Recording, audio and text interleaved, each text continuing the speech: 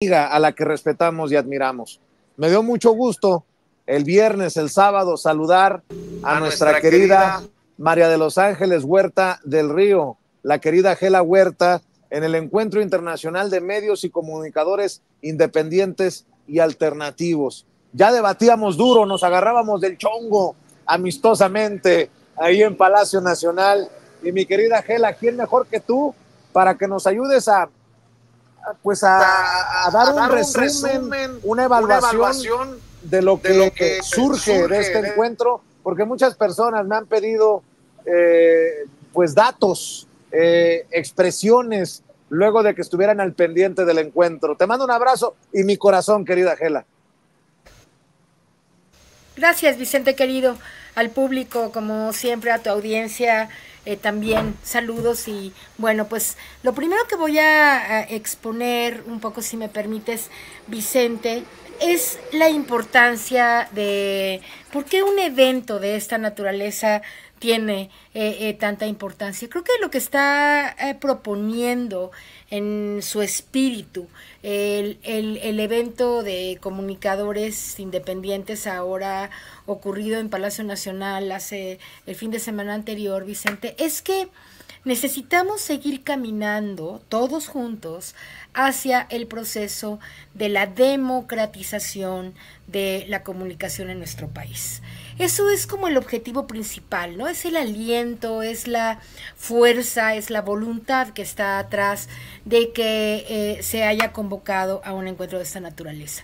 Todos los que estuvimos ahí somos personas eh, que nos interesa democratizar la comunicación porque percibimos que existe un sector, ese sector de los medios convencionales y los periodistas chayoteros, como ahora acaba de quedar claro con la con la comunica con la esta periodista Lorena que se comunica con la ministra Lourdes Mendoza. Lourdes Mendoza, perdón, para ver si le gusta, ¿no? Lo que lo que va a publicar y esos periodistas que siempre fueron el segmento único al que se le tomaba en cuenta y que ahora está tirado al drama, ¿verdad? Ciro Gómez Leiva, Loret de Mola, Denis Dresser, etcétera, todos los que menciona el presidente en la mañanera, que hoy han dejado de ser eh, eh, el segmento primordial de comunicación en este país y se ha ido la comunicación pluralizando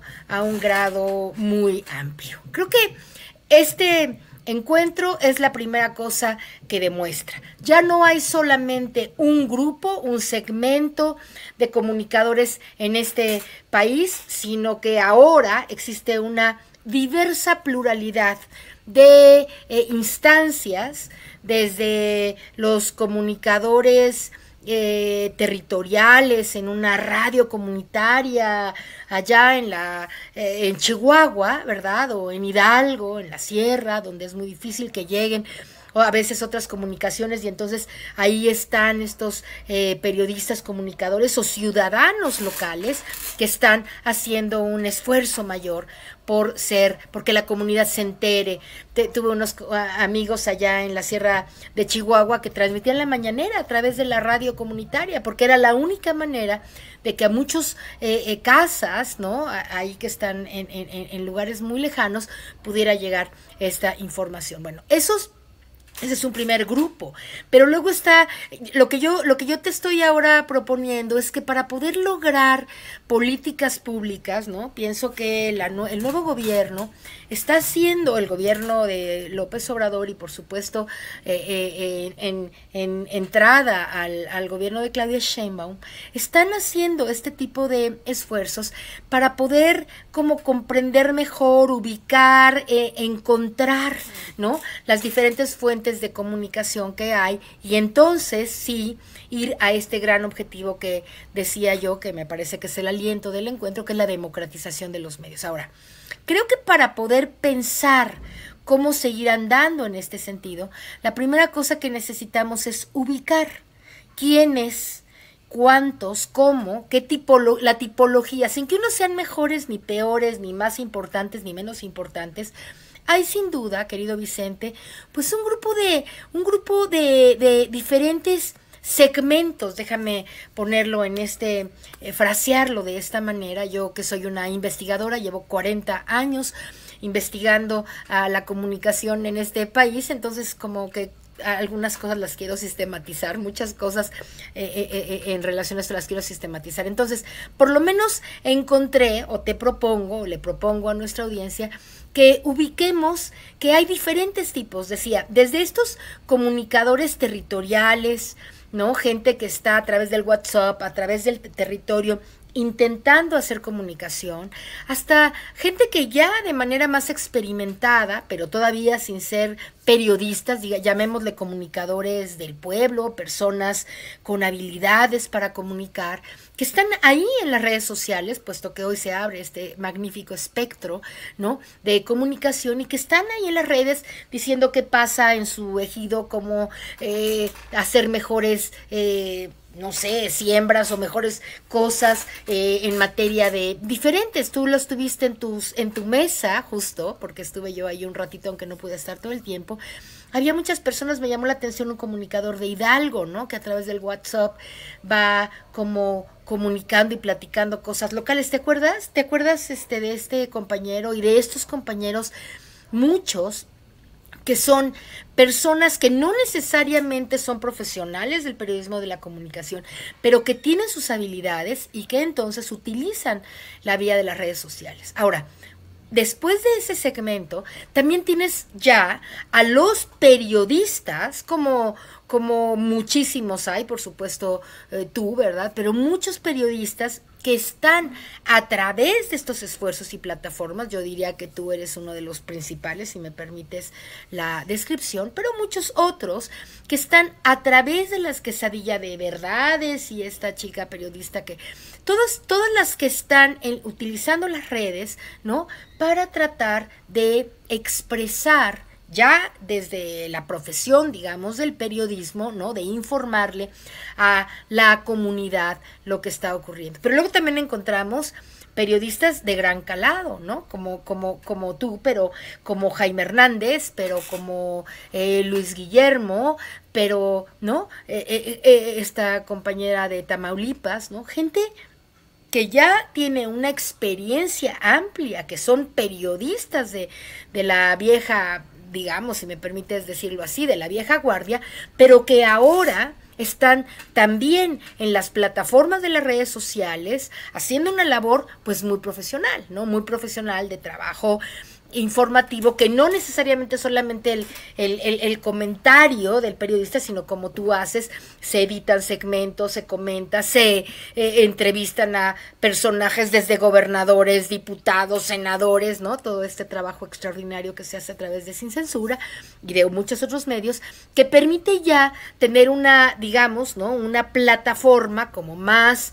armada, más complejizada, de la comunicación. Y en estos espacios hay intelectuales, hay profesionistas, hay especialistas en las diversas mesas de trabajo que ya, por ejemplo, tu mesa, la mesa que acabas de exponer de seguridad o algunas otras en otros programas, Julio Astillero, etcétera, no, Ledesma, que ya con esta, con esta profesionalización, digamos, ¿no? Invitan a personas que tienen muchos, muchos, mucho tiempo en la comunicación y en el periodismo, ¿no? Y que a través de estos espacios, pues desarrollan opiniones profesionales, etcétera. Y así nos podemos seguir luego el sistema público de radiodifusión, la propia mañanera y tal y tal. Yo tengo una tipología que mañana en un artículo que publico en el Sol de México en estos días, voy a proponer para que vayamos pensando, ¿no? Que la comunicación y el propio periodismo independiente tiene sus segmentos, ¿no? Paco Cruz es un periodista independiente hoy, ¿no?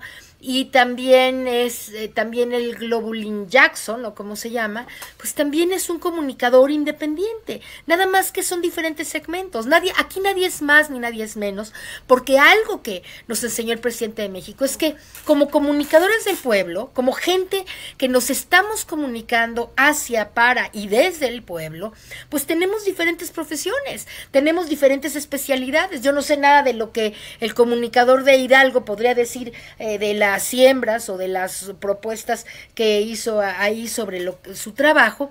Y yo, pues que me he doctorado en temas de comunicación política, pues tengo otro segmento diferente a lo que Jaime Hernández puede analizar sobre la política, la geopolítica o la política nacional o global. Cada quien, ¿no? Tenemos como diferentes capacidades y especialidades para poder ir y, medios a través de los cuales vamos haciendo este trabajo. Entonces, bueno, no me quiero alargar pero digo, una vez que tenemos ubicados los segmentos, entonces vamos a ir haciendo, ¿no? Y es parte de lo que ahí se, se concluyó también en este magnífico encuentro, querido Vicente, las diferentes políticas, propuestas, estrategias, proyectos, tácticas de comunicación para ir mejorando, ¿no? Para ir amplificando, para ir eh, socializando cada vez mejor esta información plural, lo que, a lo que aspiramos es a democratizar la información. ¿Qué significa democratizar la información? Que hay información diversa y plural. No podemos seguir nada más permitiendo, ¿no? Que lo que los medios convencionales ahora también transmiten en redes con amplios públicos o bots, no sabemos, pero de pronto dices, eh, hay quien tiene 10 millones de seguidores, López Dóriga o Loreto, la propia Carmen Aristegui, ¿no? No podemos seguir permitiendo que esos eh, comunicadores del pasado, de la jerarquía, del chayoterismo, ¿verdad? sean los únicos que tengan la comunicación o ejerzan el monopolio, como fue durante todos los sexenios del neoliberalismo, el monopolio de la comunicación. Y por eso están verdes, porque ese monopolio de la comunicación, esa decisión de que solamente ellos, ¿a quién se oía antes nada más? a Dresser, a Denis Dresser, a, la otra Merkel, al Chayote Loret, ¿no? esos eran.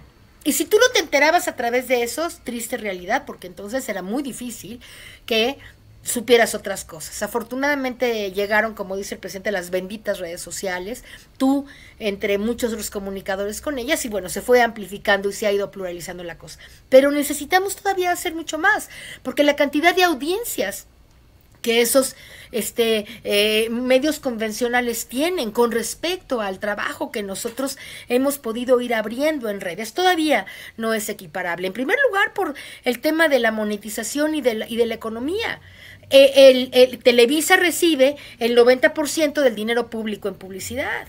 ¿no? De los 10 mil millones o 5 mil millones o 6 mil millones, eso es parte de lo que se comentó aquí en este, en este encuentro, ¿verdad? Lo recibe Televisa y Televisión Azteca.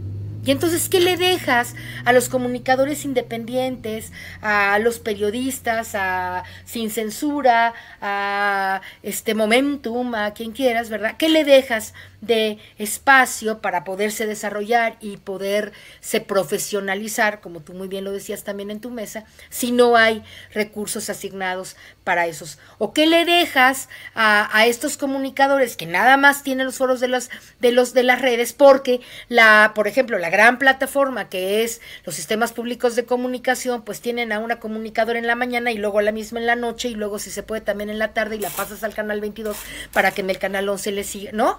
Porque como si no hubiera decenas, si no es que cientos de periodistas tan profesionales, nada más así para citar, ¿por qué no hay en el Canal 11 una mesa con Daniel Marmolejo, Vicente Serrano, este Álvaro Delgado, Julio Astillero y Ángeles Huerta?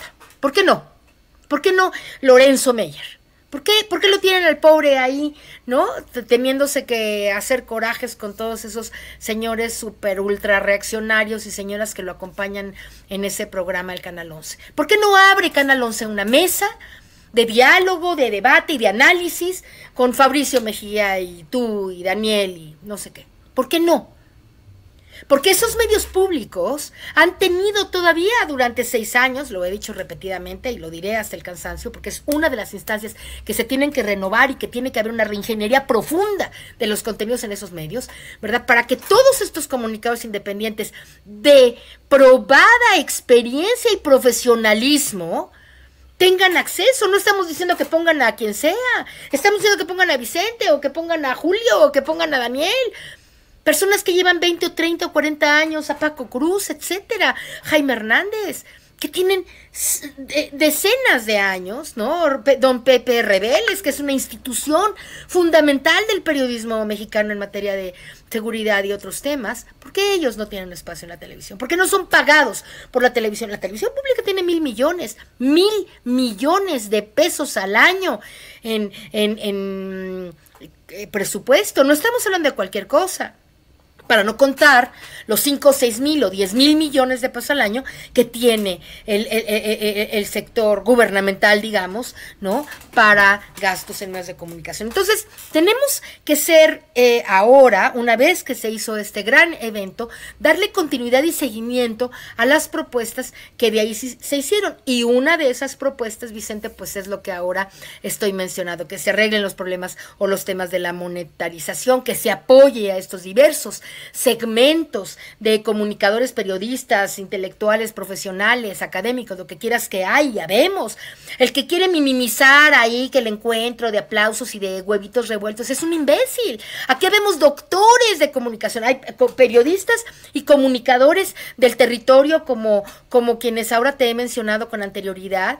Hay periodistas profesionales del tamaño de Marmolejo, Jaime Hernández, tú, etcétera. Y hay académicos como como yo, como Guillermo, como muchos, que hemos dedicado muchos años de nuestra vida, muchos, la mayoría de los años de nuestra vida, a enseñar, a la docencia, a las universidades, a la investigación, a publicar libros, artículos académicos, etcétera, tesis de doctorado, de maestría, etcétera, al análisis de estos medios. Entonces, nos quieren minimizar diciendo que vamos a, no fuimos a aplaudir, fuimos a decir, además de aplaudir, fuimos sobre todo a decirle a nuestro querido gobierno que todavía hay muchas más cosas que se pueden hacer para seguir democratizando este esfuerzo. Y que si bien la mañanera fue el principal esfuerzo y además exitosísimo, puesto que ganamos plan C, mayorías eh, abundantes en, las cámaras, etcétera, que todavía hay más cosas que se pueden hacer.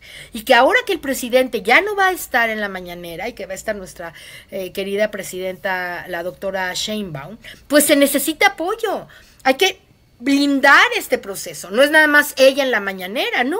Ella quiere, necesita, supongo yo, ¿verdad? De un acompañamiento eh, eh, eh, muy amplio de comunicadores que a través de las diversas plataformas, redes, medios convencionales, sistema público, etcétera, etcétera, ¿no?